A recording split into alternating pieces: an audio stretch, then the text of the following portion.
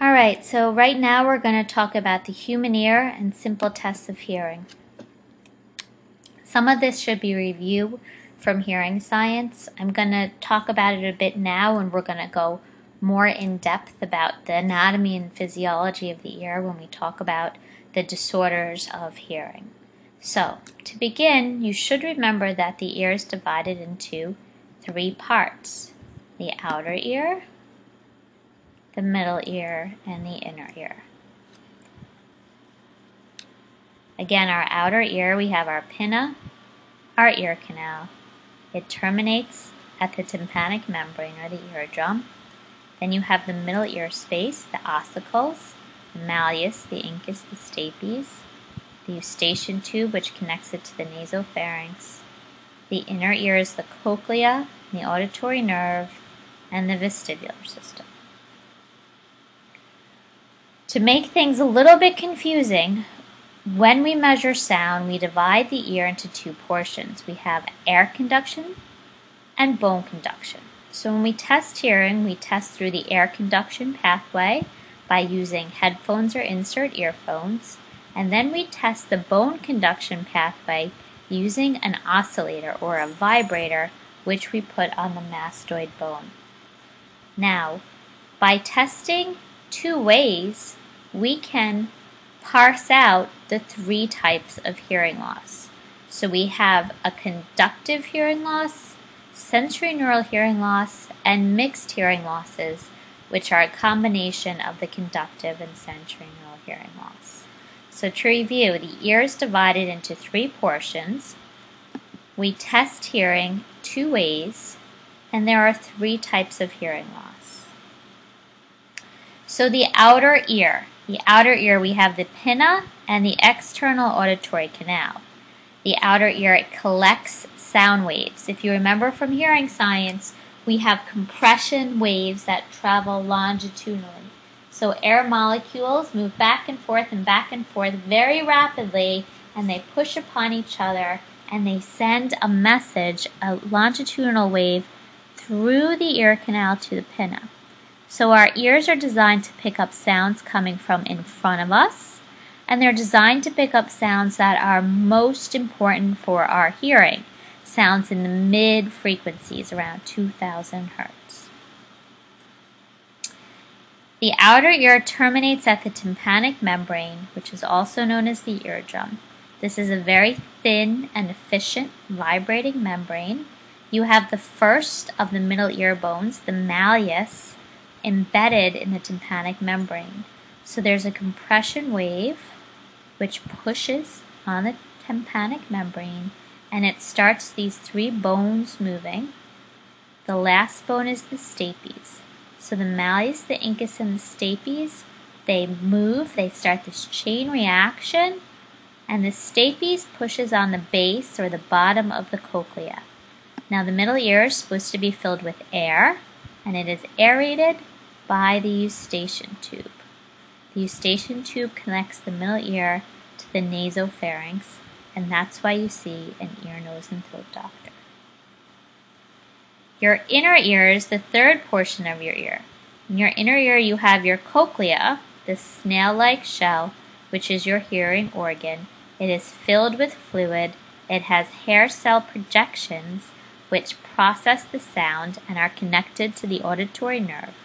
The cochlea is responsible for converting waves into messages that travel from the base all the way up to the auditory cortex via the auditory nerve. The auditory nerve is also a portion of the inner ear. So every hair cell in the cochlea has an auditory nerve ending. And there are two types of auditory nerve fibers.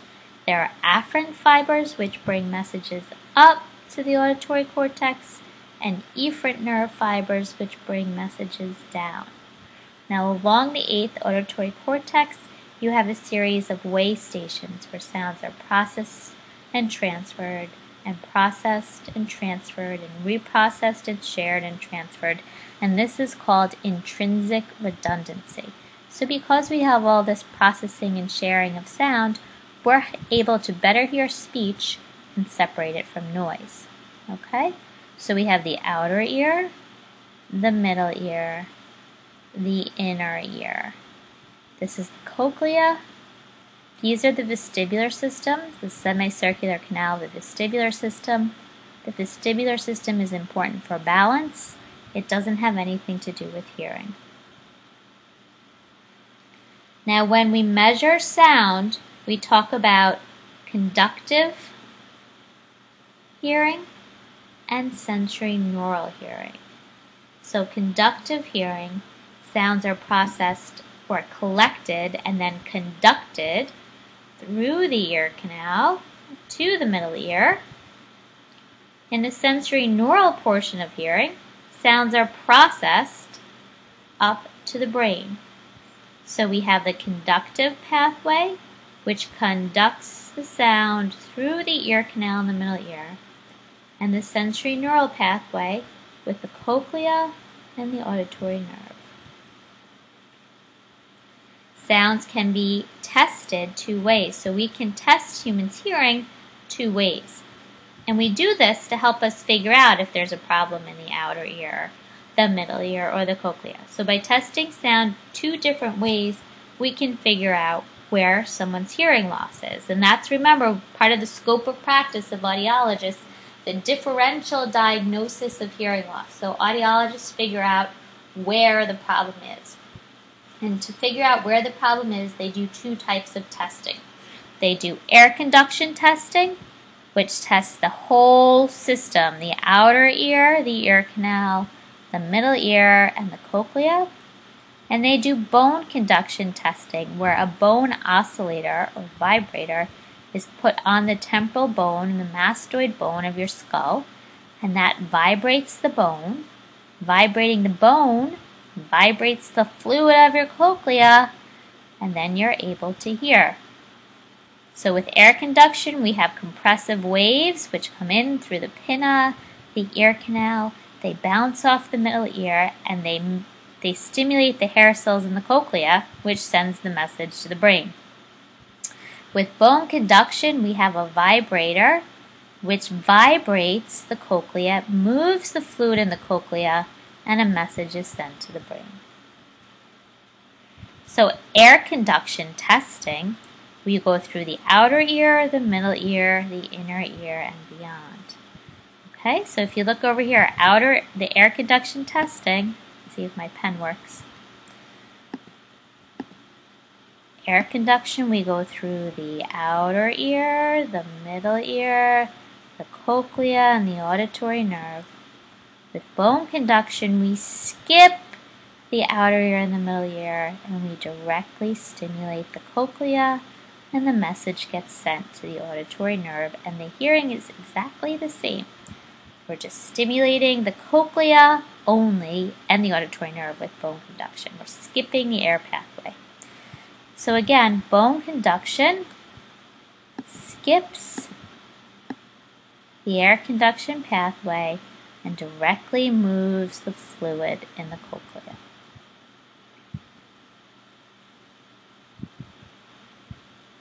Now, by doing these two tests, we can determine whether a person has a conductive hearing loss, which is a problem in the outer ear or the middle ear, or a sensory neural hearing loss, which is a problem in the cochlea and the auditory nerve.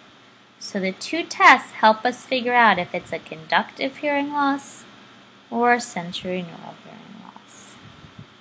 A conductive hearing loss occurs in the ear canal or the middle ear. With a conductive hearing loss, hearing by air conduction is impaired. So air conduction testing, you would wear headphones. Okay, this is the traditional what you guys probably had in your kindergarten hearing screenings. Or maybe you have an insert earphone. And the sound waves travel through the ear canal to the middle ear to the cochlea and the auditory nerve.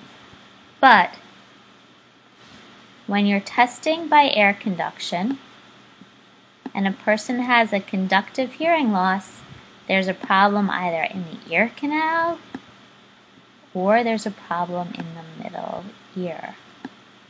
So there's a problem somewhere that's getting in the way of sound traveling. Maybe there's fluid in the middle ear. Remember, the middle ear is supposed to be filled with air. Or maybe there's um, debris in the, in the ear canal that's blocking the sound from getting in. So with air conduction testing, when you have a conductive hearing loss, you would get abnormal scores because of a problem either here or here.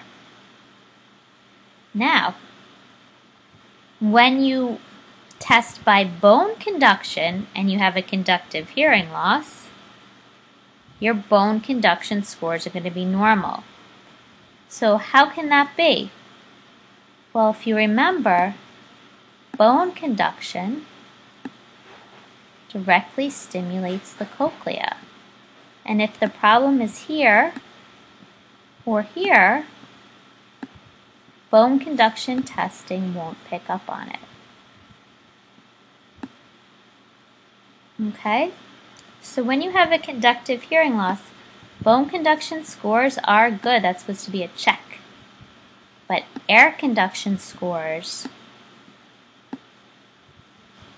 are not good because there's a problem over here getting in the way.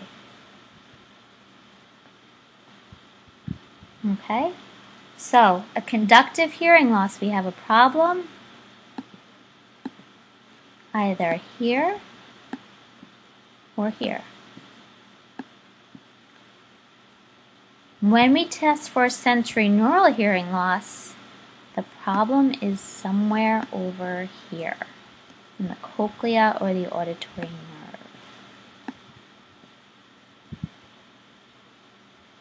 Okay, so a conductive hearing loss, we have a problem impeding the conduction of sound.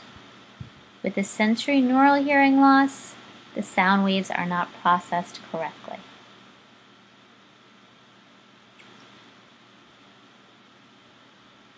Now, the air conduction pathway, if we were to test by air conduction and a person has a sensory neural hearing loss, the air conduction scores are going to be abnormal. And the bone conduction scores are going to be abnormal. Okay, so let's review. Where's my pen? Air conduction tests the whole system. So let's have our air conduction starts out here in the pinna. And if you remember, bone conduction tests just the cochlea. Alright, so with the sensory neural hearing loss, there's a problem in the cochlea, maybe the auditory nerve, but usually the cochlea. So when I test by bone conduction, my scores are going to be abnormal. They're not going to be good, bad. And when I test by air conduction, Everything's good through the ear canal, everything's good through the middle ear, and then boop, air conduction is not good either. Okay? So when you have a sensory neural hearing loss, your air conduction scores aren't good, and your bone conduction scores aren't good either. So they're about equal. They're both equally bad. sometimes people could have an issue where um, there's a problem in both the middle ear and the cochlea.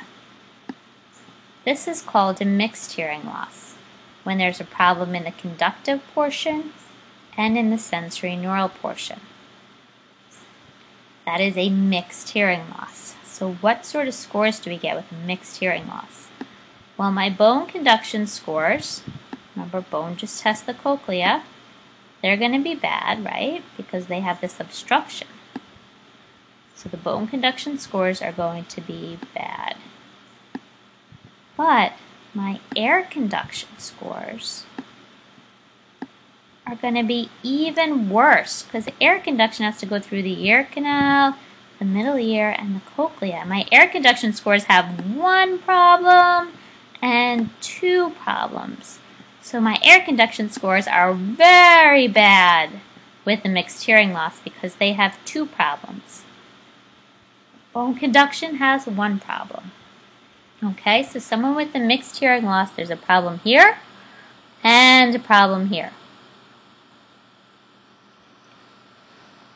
So there are two problems when we're testing by air conduction and only one problem when we're testing by sensory neural, by bone conduction, okay? So that was it for the chapter. To review, your ear, let's see. You have three portions. You have an outer ear, a middle ear, and an inner ear.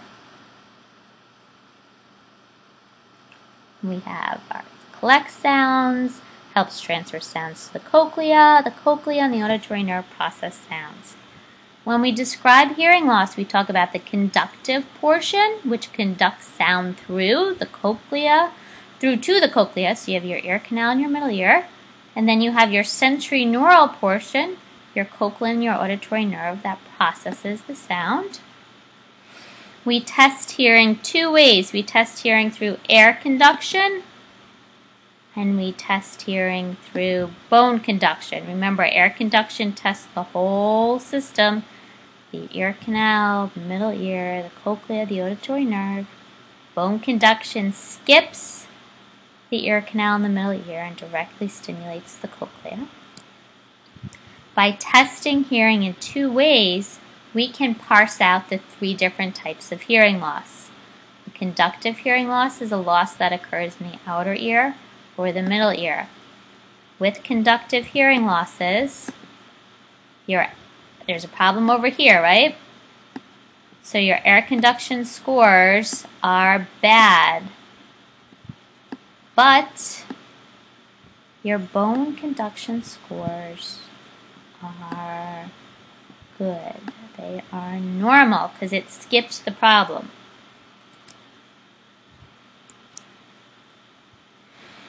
Now with the sensory neural hearing loss. Let's say the problem is in the cochlea.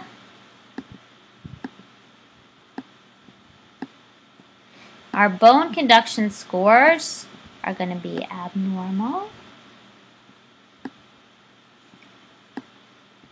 And our air conduction scores are going to be just as abnormal because they're affected by the same issue. Now, when we have a mixed hearing loss, we have two problems. We have a problem in the outer and middle ear, outer or middle ear, and a problem in the cochlea. So your air conduction scores are doubly bad when there's a mixed hearing